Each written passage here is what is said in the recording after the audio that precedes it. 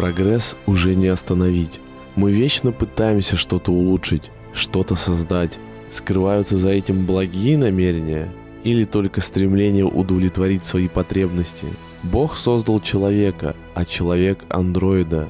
Вскоре машины заполнили этот мир и прочно вошли в нашу повседневную жизнь.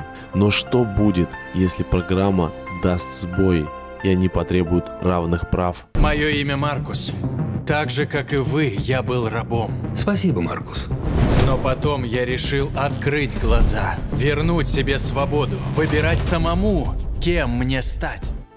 Именно философский и социальный подтекст выдвигают на первый план создатели игры Детройт «Стать человеком», предоставляя нам возможность определить место андроида в человеческом обществе.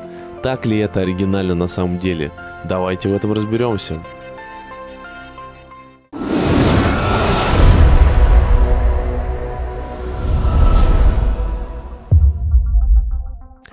Друзья, с вами Третий, рад видеть вас на канале 7.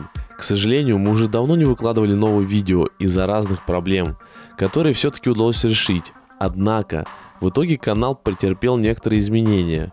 Пятый решил покинуть проект по личным причинам, а я, оставшись один, буду постепенно расширять круг интересов и прощупывать новые направления. Очень надеюсь, друзья, что именно с вашей поддержкой. Сегодня вашему вниманию я предоставляю свой первый выпуск в рамках обновленного проекта «Канал 7».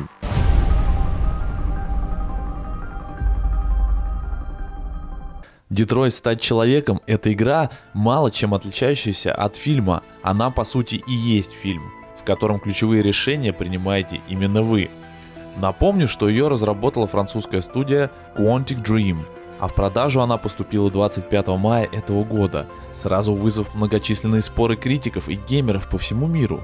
Одни заявили, что сюжет полон пробелов, что машины используют свои возможности лишь только тогда, когда это угодно сценаристу, что борьба за права уже давно заезженная тема, а другие наоборот остались довольны, намекнув, что после предыдущего проекта студии под названием «За гранью две души» это словно глоток свежего воздуха.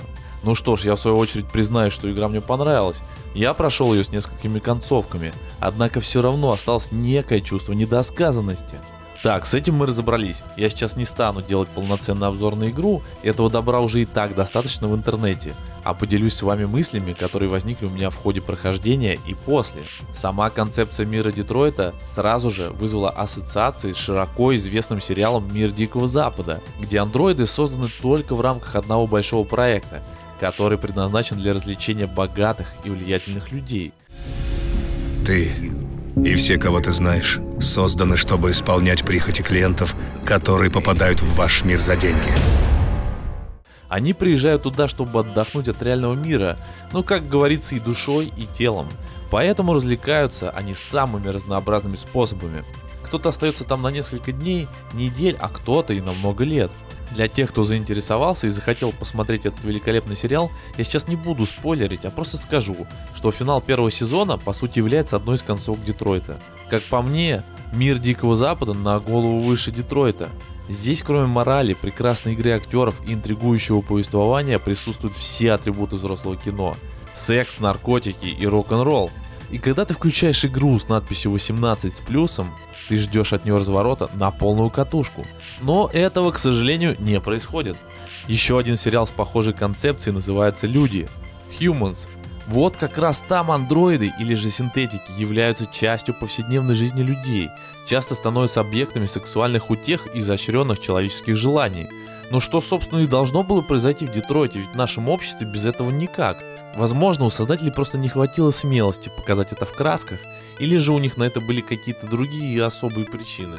Однако сам сюжет жирно намекал на некие интимные подробности из мира андроидов, ну, например, семья роботов с ребенком, или желание андроидов-девиантов стать отдельным народом подразумевает возможность размножения, роста, развития. А здесь этот аспект просто опущен. И проходя игру, я, конечно же, вспомнил репликантов из «Бегущей по лезвию». Особенно сиквел с Райаном Гослингом и Харрисоном Фордом пришелся мне по душе. Он глубоко погружает в атмосферу будущего с помощью масштабных, сочных декораций, которые просто цепляют тебя своей неординарностью, а также прекрасного, потрясающего саундтрека.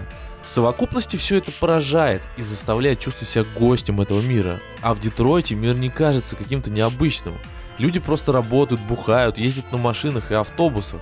Внешне он мало чем отличается от нашего. Мне кажется, им стоило побольше поработать над этим элементом, чтобы вдохнуть в него жизнь. Как итог, да, игра мне понравилась, она является хитом в своем жанре, но все равно не в состоянии тягаться с большими проектами киноиндустрии.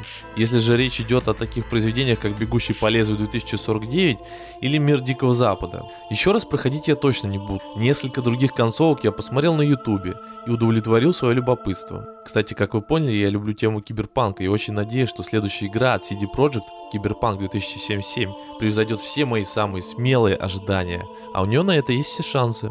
Ну что ж, друзья, я поделился с вами событиями из жизни канала, мыслями об игре Детройт стать человеком, провел аналогии с произведениями из мира кино, и сейчас прошу поделиться вас своим мнением о самой игре и о данном жанре в целом. Ставьте лайк, если понравилось видео, подписывайтесь на канал и нажимайте на колокольчик, чтобы получать уведомления о новых выпусках. Пока! Не забывайте, они не настоящие.